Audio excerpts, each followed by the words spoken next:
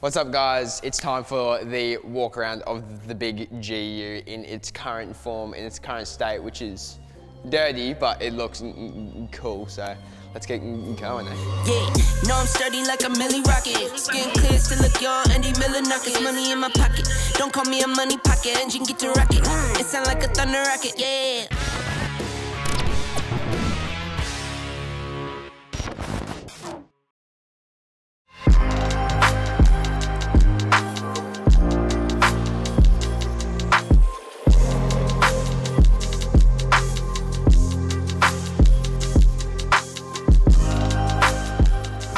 First up, and the thing that everyone sees is the custom bar that me and Ashton made. Took us about two days or so to build this thing, and it's not the nicest world, it's not the nicest fitment, but I think this is one of the best looking GU bars just because it's so tucked up, which is why I like that. It's definitely my taste and my flavour. Down here, good old, same old and entire combo that I have been running on the car for a year or so, which is the Goodyear Wrangler MTR with the Kevlar sidewall in a 37 by 12 and 8 and a half, 17. And we got KMC Grenade 17 by 9 neg 38 rims, which are Moving on down the car, got the Fats Fab Snorkel 4 inch powder coat to match all the other white gear on the car. This thing sounds bloody nuts when the window's down, but when the window's up, don't even hear it. So yeah, I definitely like this uh, and I love how, how it sits low and it's got the car in the bottom just to get really bloody just tucked up. Looks great.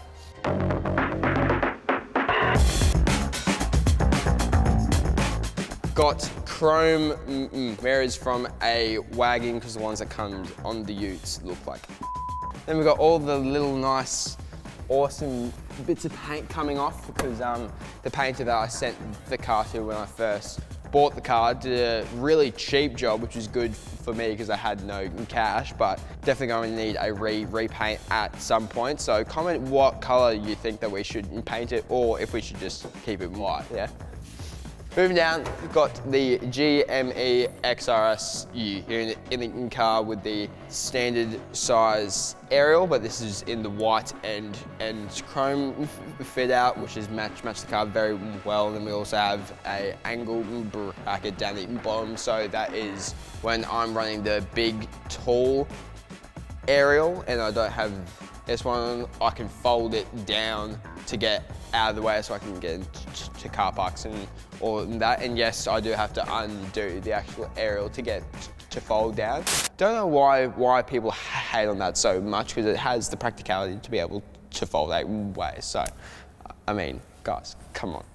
We've got the PCOR tray, but this is a very simplified version of it with a lot more tube and a lot more weight taken out of it to make it way more simple and way more cost effective for what I do use the car for and what the plan for the car originally was. Because the first plan was we bought this car cheap, we were just gonna paint it, chuck it in a tray, lift, wheels, tires, then I kind of fell in love with the big G here, so now it's my baby.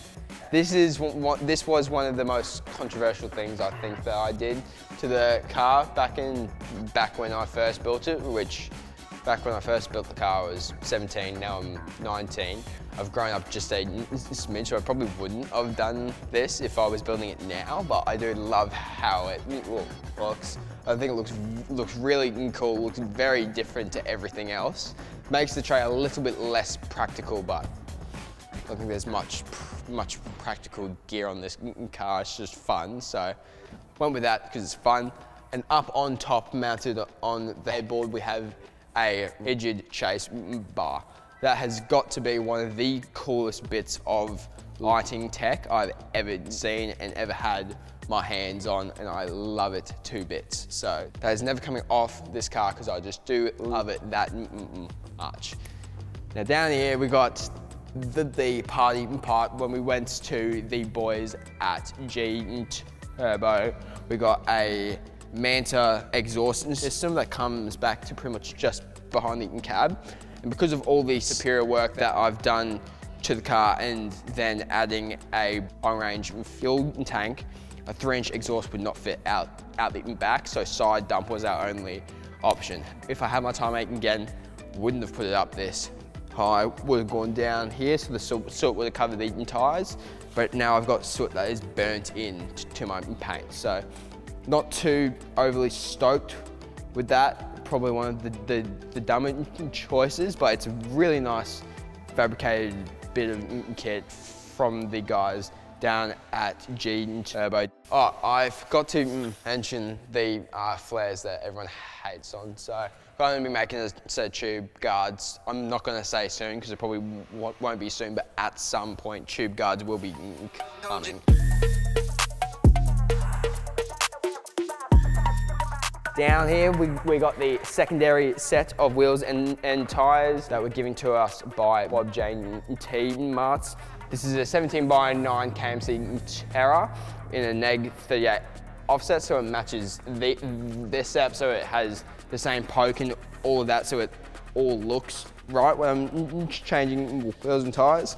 And we got a 33 by 12 and a half BFG KM3 mud terrain tyre. So this is the fully legal setup and then we've got the maiden set, which is very nice.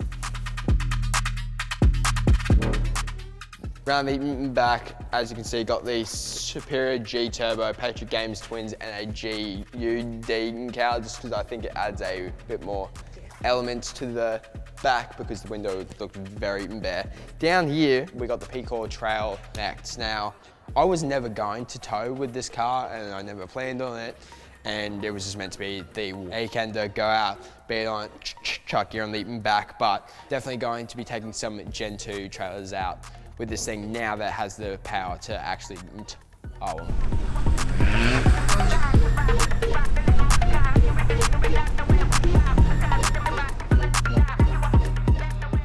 One more thing at the back of the Eaton car, we have a long range fuel tank, which wasn't a mod that I planned, but it's a mod that I did need. You would have seen that the tank sucked itself in because the breather got clogged on the factory tank. So the only option was when we were in, in Perth to get a new tank. And there's no point buying a new factory tank when I can get a Brown Davis tank that can, that can actually take me further. Now, let's go to the engine bay because that's the fun stuff.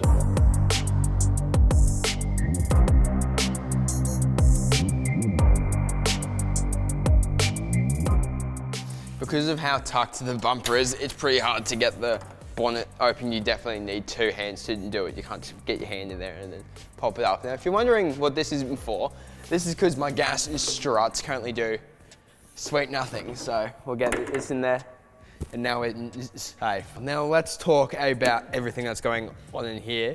But before we do, I forgot to mention two things on the in front.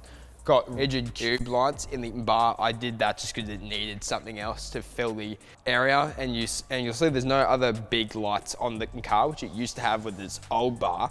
But we're going to do a big light bar up on the roof. So they'll come once again, not soon, but at some point. Talking about little lights, I got Bush Duff's hangers in these lights. I built the light myself, getting the center in the light, but whilst I was polishing the front, I left the gel on for too long, so it burnt back in, so there was pretty much no point in polishing. But these Bushduff centers, compared to the candles that these things come with, great mod. And you got all your RGB in there too. On the out outside, but I took that off because I just, I'm not a massive fan of the crazy lights, but it's a, it's a ZD30, so the engine bay is never going to look very good. It's always going to look a bit janky because of all the excess stuff that Nissan adds on to their ZDs. So getting the top mount into cooler off definitely opened it up and made it a little bit easier to work on. We got a Fat Fab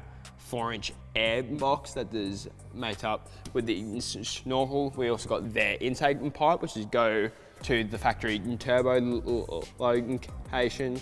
We've got a dual battery kit that the car came with, but we've got a custom made harness for the dual battery system and, and all the mods done by Helms. So we measured up all of the distances and what and what wires we need and then Helm built me a full custom standalone harness for the whole accessory system in the car, which which which works very well with the T VMS Rogue, which is inside the car, which we will see later. More power mods. So everything we've done to make 310 horsepower, and we haven't dynoed on 37s, but I would guess somewhere around 270 horsepower, and this thing does math. This thing moves. But to get that, that power, we got a G Turbo G320 Gold wheel. We got uh, plus 100 G turbo in injectors. We got a DATS cool front mount pipe kit. Obviously the Fats Fab air box and we got a very, very sexy part, the PWR 600 by 300 intercooler core. If you know cars, you know PED RBUR and you know that this is the only option to go if you are making power with any car. So, but other than those, couple mods plus a three inch exhaust and a custom uh, tune by the guys at G Turbo and we have 310 horse power and 708 newton meters of torque to the tires. So and to handle the power that this thing's making, we put a NPC 800 newton meter clutch in it, which I really like the feel of it on the pedal, super soft. It feels softer than the factory clutch and where it actually bites, it feels a lot better. And that also means that I'm not going to burn up burn up a clutch or do anything weird with that side of things. Over there we have a Megalife lithium starter. One of the best things about these, these have a, have a jump pack built into the actual battery. So if you see up here, there's a button on, on top. If you just press that, that opens up a extra cell to give you enough power to start car, which is very cool.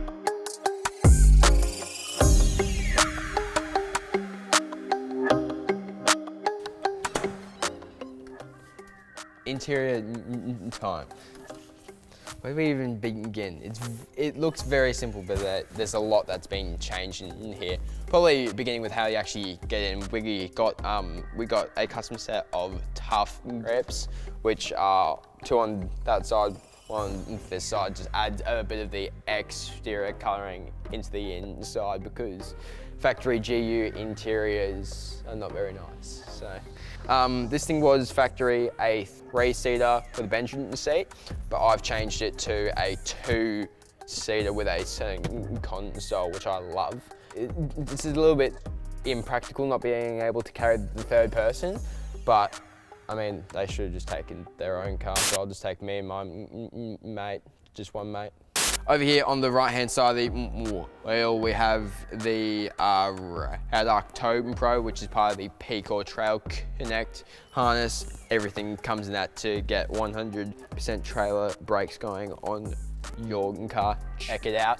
Up here, the main piece of the car, the Redarc TVMS screen, which is paired to a TVMS Rogue behind the seat in here and a BC DC Core 40. So this is the secondary power station to this whole car.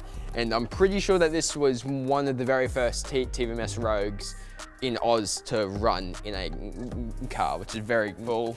Well, control on here, just for now, I got front and rear locker, and then I got the rear chase bar on and off, and then to change modes on that rear chase bar. And then I also have icons here for a water tank and a front bar because that's linked into the wiring harness, those, those two things, because I wanted to add everything that I think that I will do to the car so I don't have to add excess wires and excess cables into a harness to make it more complicated. And guys down at Helm gave me a full wiring diagram of everything that's going on in my car. So if I ever have a issue with with anything, I can see which which wire is going where, and yeah, just like what color and everything is, so I can fault find and figure out everything.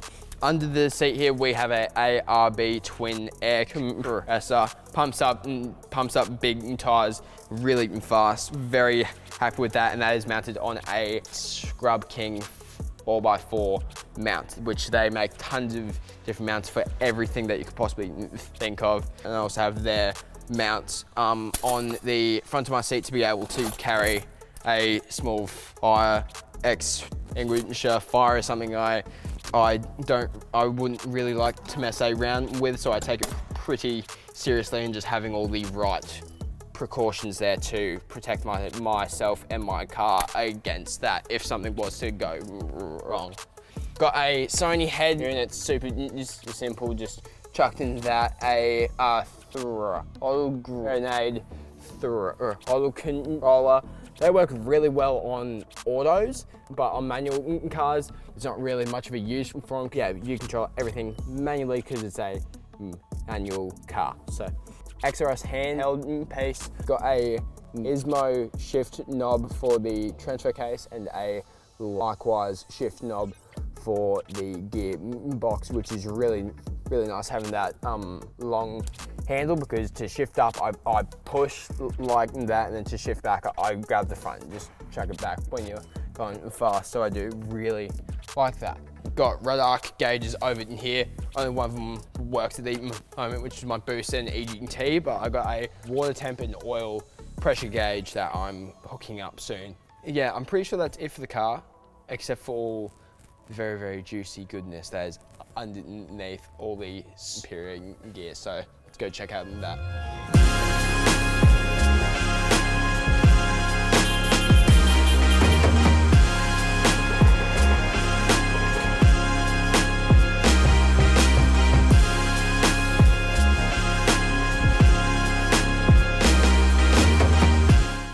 It just keeps on going. Like I keep, I don't remember how far it goes up. So, and it just keeps on going like, this thing's gonna roll over, right?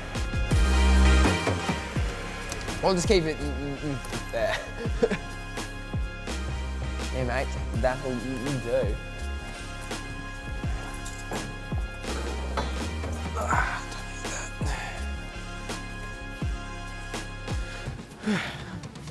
it's kind, it's kind of cool, just a little bit.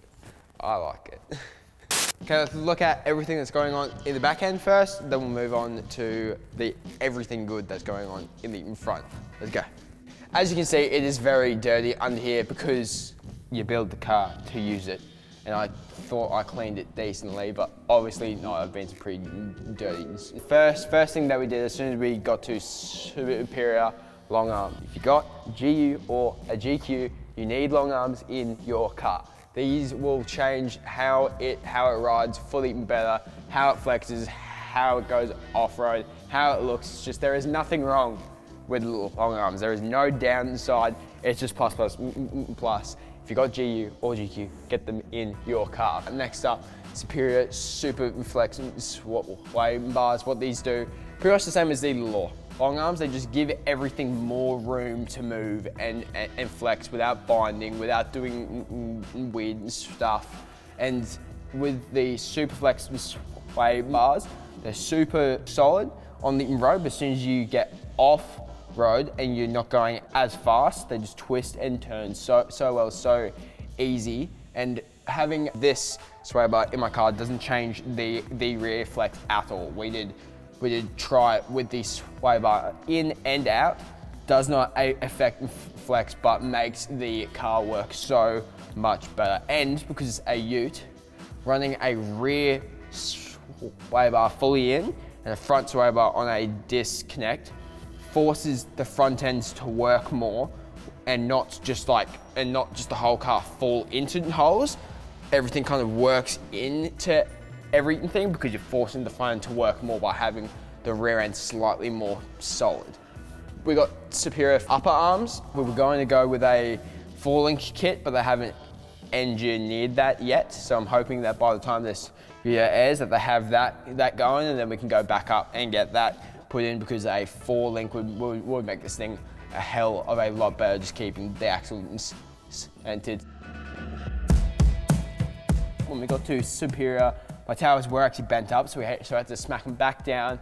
They were cracked, so we have to, had to weld up the cracks, and we did a weld-in coil tower uh, brace kit, and then we did the bolt-in um, rear coil tower tower brace because it gives you the spot to mount the hydro bumps. There is not any cars on the road that necessarily use hydro bumps because, let's be perfectly honest, on a road car you don't need them, but the cool factor and when you do need them, when you do end up actually using them, they just work so, so well. So I love them. And we've got a four inch Superior Hyper Flex coil. This is a Gen 1 coil that they had tucked up right in the very very back of their warehouse. This is the Hyperflex coil, it gives you the longest length coil, so when it's, it, it's flexed up, it doesn't fall out of where it has to be, but it's super soft, so it sits at that four inch height, but you get a coil that's the length of like a six or a seven inch coil. So that's, that's why those are so good. And we just have their panhards front and back. They are adjustable, match the rest of the kit, looks good. And then the last thing going on in the back in terms of the suspension work is we have Superior 2.0 remote res shocks in a 13 inch length. I was going to go with the 2.5s, but they only go to a 10 to a 10 and a half inch length and I wanted the maximum amount of flex I could get out of this car. So 13 inch long 2.0 shocks is what we went with and the remote res with the A adjustability does genuinely work and you do notice a massive difference between everything there. After we got back from Superior, we took home a set of their diff bracing kits, their well-ons. We did that to the front and rear when we got home, got them powdered and coated down at Alpha Fit. So thank you, Jamie, for doing that for us. Then in the center, we have four six diff gears to be able to push the the bigger tires and be super low and and crawly when we go off road. And the best thing that you could do to your car in terms of proper capability, Harrop E lockers. We've got them front and rear. Those E lockers paired with all this flex, the wheels, the tires. There is nowhere that this car does not go. It, just walks up. Everything this thing is um, is amazing off the road.